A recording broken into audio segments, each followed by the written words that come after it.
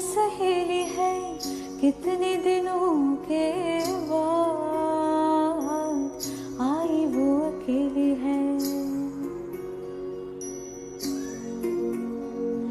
संझा की बातें भी कोई बुझा दे आज, अंधेरे से जी भर के। करनी है बातें